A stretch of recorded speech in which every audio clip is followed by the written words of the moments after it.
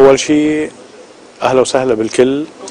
آه، نحن اليوم مجتمعين بمناسبة آه، استقبال عضو المجلس البرلمان الأوروبي آه، الأستاذ باولو كاساكا يلي عم بيهتم بشؤون الشرق الأوسط وبالتحديد الوضع اللبناني. نحن فخر لنا إنه نستقبل المؤسسات الموجودة هون بالسويد يلي عم عم تسعى كلياتها سوا حتى تتحقق الديمقراطية بالشرق الأوسط وحتى آه، شعوبنا والأقليات اللي موجودة بالشرق الأوسط تقدر تحصل على أكثر من الحريات وأكثر من آه، من الحقوق اللي عم تعاني فيها وخاصة الشعب المسيحي بالشرق بلبنان بدرجة أولى بالعراق وببقية المناطق اللي عم بيعاني منها. نحن سعيدين أنه نقدر آه، نرحب آه، فيك أستاذ آه، باولو كاساكا يلي عم تسعى بشكل آه، آه، دؤوب لأنه هالمجتمعات اللي عم بتعاني بالشرق الأوسط أنها تتحرر وبشكل كتير مخلص. آه، ونوادر لحتى نلاقي أشخاص برلمانيين وسياسيين أوروبيين عم بيشتغلوا حقيقة عن قناعة ومش لمصالح آنية مش لمصالح مرحلية. عم بيشتغلوا عن قناعة وعن إيمان. آه، نحن كل المؤسسات الموجودين هون اللي مجتمعين اليوم وبمقدمتها التنظيم الارامي الديمقراطي يلي برحب بكل الموجودين واللي مشارك بشكل أساسي وفعال بتحقيق هالمساعي السياسية يلي الانتشار اللبناني بالخارج عم بيسعى لها آه، عم نسعى سوا لتطبيق القرارات الدولية يلي كل الدول بالأمم المتحدة ومجلس الأمن آه، أخذت قرارات لحتى تتحقق بلبنان لحتى تخلص لبنان من هالمشاكل اللي هلا واقع فيها من خلال تطبيق القرارات الدولية. لنساعد حكومة لبنان لأنه تطبق هالقرارات. وعلى مقدمتها القرار آه، 1559 وبسرنا نقول إنه الأستاذ باولو كاساكا هو عضو اللجنة العالمية للقرار 1559 وعم يسعى مع الحكومات بشكل أساسي المجلس الأوروبي ومع الحكومة اللبنانية لحتى يطبق هالقرار حتى لبنان أكثر وأكثر يرجع لعافيته.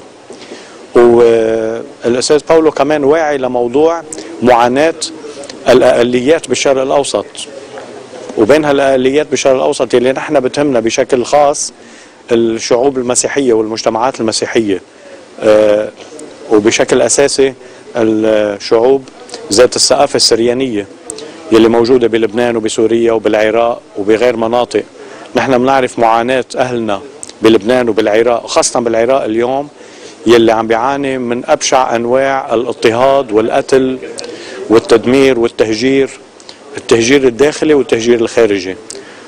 ونحن سعيدين لأنه الأستاذ باولو وزملائه بالمجلس الأوروبي عم بيساعدوا لحتى هال هالوضع هيدا يتغير ويتحسن بالنسبة لكل الأقليات بالشرق مش بس الأقليات المسيحية حتى الأقليات الثانية ولكن نحن مثل ما قلت كمؤسسات بهمنا بدرجة أساسية آه، شعبنا المسيحي وبالتحديد الشعب السرياني I, I think that everybody is here glad to see you and will be glad to see you again and again.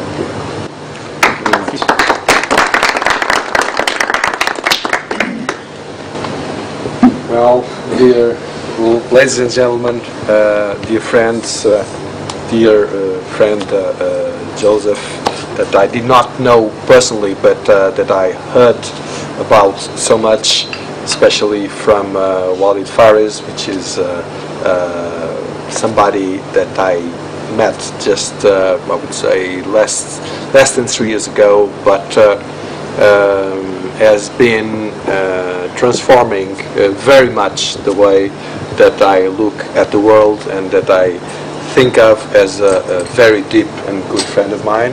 Uh, thanks very much to Ronnie, Ronnie Dumit, that uh, was the one who brought me here, that uh, uh, gave me the opportunity of uh, knowing the your community here in Sweden. I did have the opportunity of being among your community in Lebanon in the beginning of 2006, in February 2006. I have been invited to be a member of the committee 1559, the committee that uh, is uh, struggling for the implementation of this resolution of the United the Security Council of the United Nations. Uh, and um, I am very proud of being a member of uh, this committee. I am uh, very glad and very proud to have had the opportunity of knowing such wonderful people like yourselves.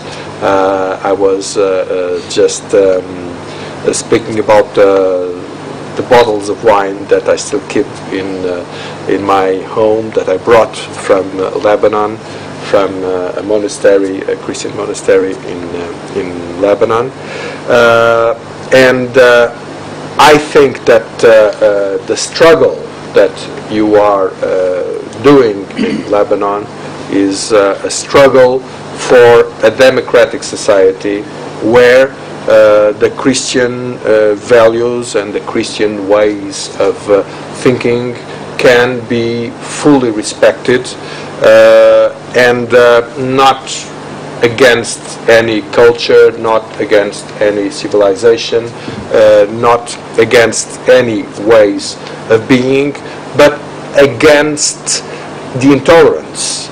Those who are fanatics, those who do not understand that uh, there are different ways of looking and uh, sharing our world. And uh, unfortunately, in Lebanon, uh, you have uh, some of the worst examples um, made by uh, this organization that has been correctly labeled uh, by, for instance, the judicial authorities in Argentina, in Argentina as the branch, a branch of the foreign affairs policy of uh, the Iranian regime.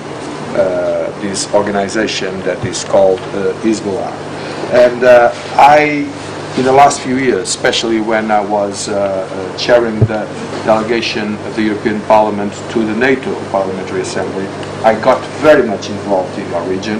I am now um, not only a member of this committee, but I have uh, been involved, for instance, in, uh, I am a European friend of Israel. I'm a founding member of the European Friends of Israel. I am co-president of uh, uh, the Friends um, of um, Free Iran, which is a, a, a inter intergroup, uh, inter uh, political groups uh, organization within the European Parliament. And I did found my, myself, uh, together with some uh, Iraqi friends, uh, an organization called Ir- Iraq with the Future. And I am seeing more and more the plight you are facing as a part of a bigger plight of those who want freedom and democracy in the Middle East. I, what I've seen in Iraq, and I've been there several times, uh, is uh, absolutely appalling. And uh, it is true that in Iraq, the number one victim, community that has been the number one victim, has been the Christian community. There is no doubt about that. Um, and uh, I have been living uh, because I, I, I know the people and I feel very, very much uh, what has been happening there. And um, allow me to make a special reference to uh, the priests that, uh, uh, with the three heads, was murdered in the first half of this year in Mosul, in the uh, Holy Spirit, the Divine Holy Spirit Church of Mosul. Um, uh, Rashid Ghani